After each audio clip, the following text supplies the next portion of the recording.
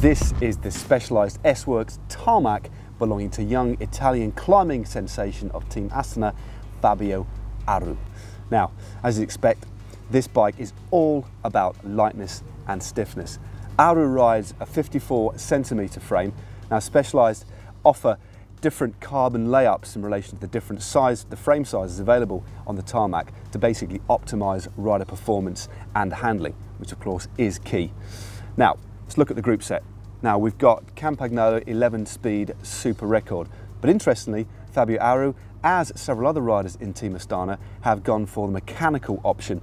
And again, through speaking to the mechanics, it's all about reliability out on the road. Shifters, front and rear calipers, rear mech and front mech, all Campagnolo 11 speed super record. Chainset wise, it's a Specialized S-Works FACT full carbon chainset with built-in SRM, going for 53 times 39 gear options there. Quite traditional setup. Heading towards the back here, Gear ratios on here, again offering a very wide ratio for the climbs, 11 at the bottom and 28 teeth at the back. Seat pin is K-Force FSA, as are the bars and stem, full carbon, 42 inch width, and Aru goes for a 13 centimetre length. If you look very closely, this isn't actually fully slammed as you'd expect with a lot of pros. It's actually got, if you look closely here, don't want to scratch this bike, We've got about two centimetres of stack height, whereas on the frame of Vincenzo Nibali, it's fully slammed. It weighs in at 6.885 kilograms.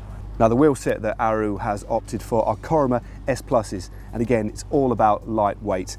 These are shallow section and are shod with Specialized all-round two 24 millimetre tyres. To be perfectly honest with you, I want to see exactly how light these really are.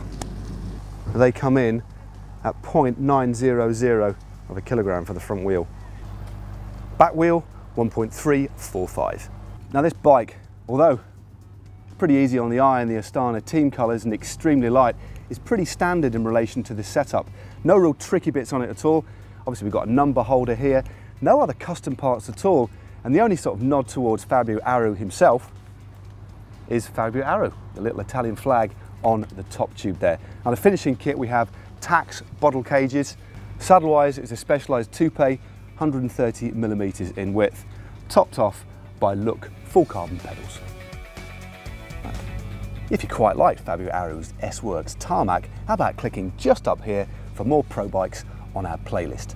And if you fancy keeping yourself up to date with all that's new in the cycling world, plus some other bizarre stuff too, click just down here for our new show.